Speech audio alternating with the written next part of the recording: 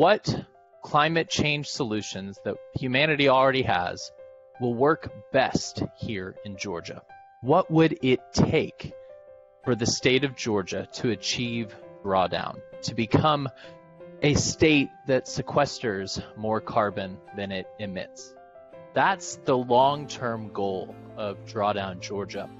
There's one thing that I've come to realize from all of this it's that climate change solutions really are so right and so smart for the state of Georgia.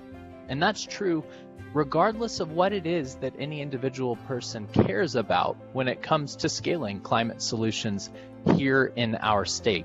As you'll see from the research team in just a moment, if what you care about is carbon emissions, well, then Georgia is absolutely ready to lead on climate. But if what you care about is financial savings over the next decade, once again, Georgia is ready to lead on climate. Perhaps you come to this work with a concern for equity and social justice. The data and the research shows Georgia is ready to lead on climate to help and solve those challenges. Perhaps what you care about is job creation. Once again, Georgia is ready to lead. Perhaps what you care about is our natural environment. The blessings of this state are tremendous from the mountains down to the coast. If you want to preserve those lands and the wildlife that lives in them, Georgia is ready to lead on climate. Or perhaps, especially in this era of a pandemic that has rocked social fabrics and caused us to change the way that we fundamentally live our lives. If what you care about is public health, Georgia is ready to lead on climate. And this amazing team will be walking us through why the data shows that we can solve so many problems, not just our warming planet, by making Georgia that leader on climate. From our perspective, it starts with a realization that climate change is uh, just presents very serious risks to Georgia and, of course, the rest of the world. And the flip side is that if we're clear-eyed about those risks, uh, that if we tackle them head-on, there are real opportunities to be found to both minimize the costs of a changing climate, but also really seize the opportunities that John spoke to with respect to economic development and equity and public health and environmental protection. To avoid the worst uh, that climate change could deliver, our project aligns with the time frame of the Paris Accord, that is, to limit global warming to no more than 1.5 degrees centigrade above industrial um, levels, pre-industrial levels. So for those of you who can't instantly convert from uh, centigrade to Fahrenheit, that's 2.7 degrees F. So to achieve that goal, global emissions need to be cut by more than a third by the year 2030 and then proceed to zero by mid-century. This is the performance goal that we've set for the Drawdown Georgia Research Program.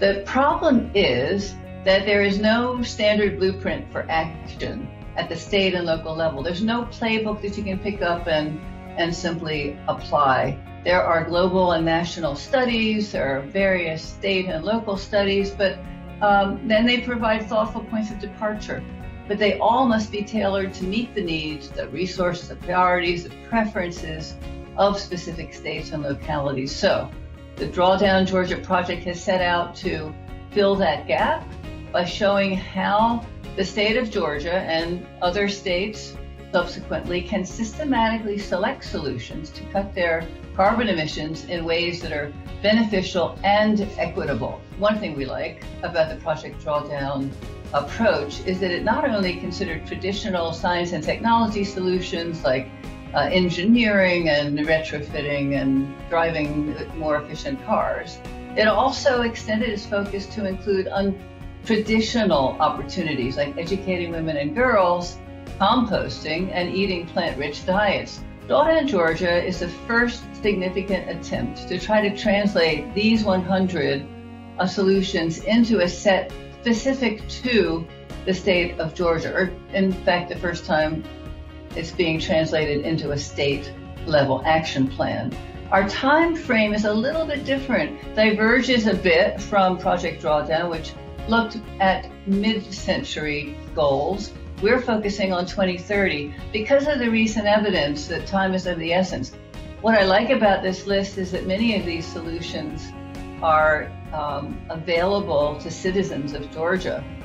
You can compost, you can recycle, you can um, put solar on your rooftop. So this is a very democratic list. I also like the fact that it does call for business engagement.